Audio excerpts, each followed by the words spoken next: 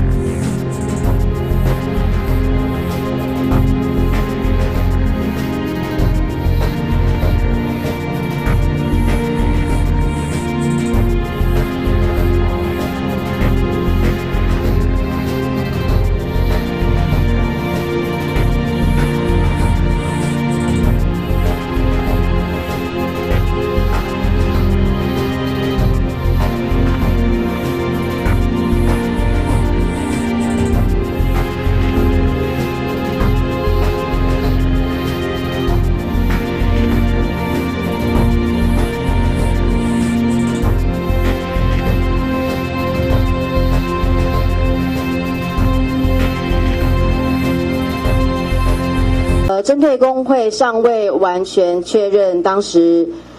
状况，我们工会在此深跟媒体还有社会大众们深感抱歉。